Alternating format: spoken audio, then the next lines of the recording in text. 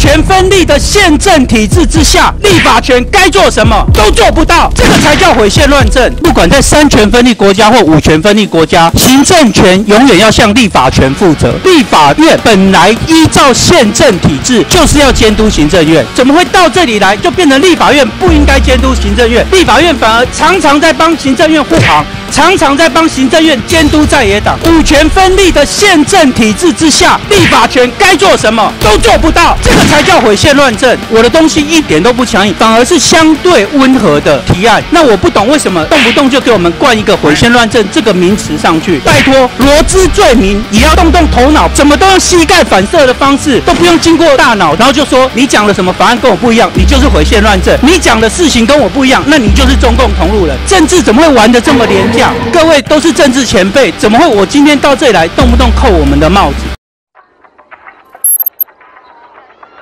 郭同学啊，看板我我查过一下，调查权的可以让你好好提案说明。时间先暂停一下，不好意思，柯总招，现在我在讲我的提案说明，好，麻烦你。你的提案说明以前有成。那个问题要处理，请那个柯总召，请你下台，请你下去。当主席应该处理嘛？柯总召，拜托。讲完以后，现在提案人在做提案说明，请尊重提案人发言权。请尊重我们请请请尊重，请尊重议事规则，请尊重提案人发言权。请尊重拜托。我应该我讲的话怎么变成你讲的话？请尊重提案人发言。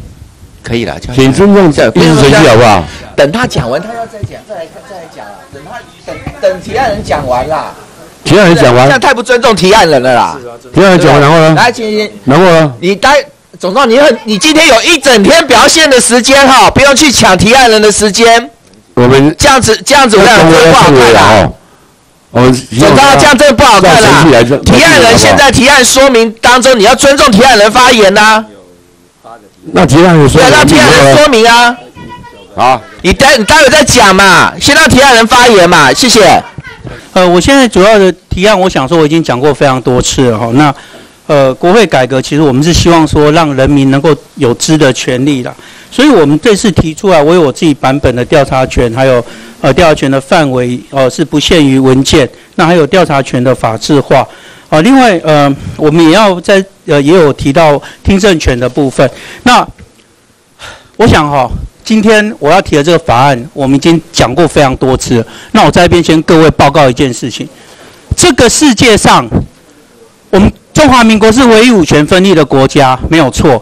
但是不管在三权分立国家或五权分立国家，行政权永远要向立法权负责。也就是说，立法院本来依照宪政体制就是要监督行政院，这个没有任何问题的。那你今天什么叫做毁宪乱政？你行政权你不监督，你立法权不监督行政权，你就帮行政权护航、擦脂抹粉、监督在野党，这个才叫毁宪乱政。所以我一直觉得这段时间我听到非常人喊毁宪乱政、毁宪乱政。那请问三权分立国家跟五权分立国家的立法院都是在监督行政院？怎么会到这里来就变成立法院不应该监督行政院？立法院反而常常在帮行政院护航，常常在帮行政院监督在野党，这个才叫毁宪乱政。不要跟我讲说什么这么做毁宪乱，讲一些枝微末节的事情。五权分立的宪政体制之下，立法权该做什么都做不到，这个才叫毁宪乱政。我想我今天我提出来的东西，我没有非常强硬。我非常多次，我在公开的场合我也讲过了，我的东西一点都不强硬，反而是相对温和的提案。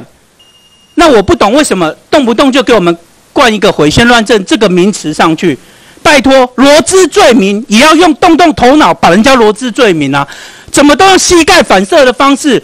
都不用经过大脑，就直接急神经就急急着神经直接反射，然后就说你讲了什么法案跟我不一样，你就是毁宪乱政；你讲的事情跟我不一样，那你就是中共同路人。政治怎么会玩得这么廉价？我到这里来，各位各位都是政治前辈，都是我尊敬的对象，立法委员也是这个社会上面尊敬的职业，大家都非常羡慕。那怎么会我今天到这里来，面对这么多前辈，动不动扣我们的帽子？那我在想，我再主张一次。不管三权分立国家或五权分立国家，立法权就是该监督行政权，这个才叫做宪政体制，绝对不是大家讲那些枝微末节的宪政体制。我在那边跟大家再次呼吁，这是我念法律以来一直心中没有变过的见解。好，谢谢各位。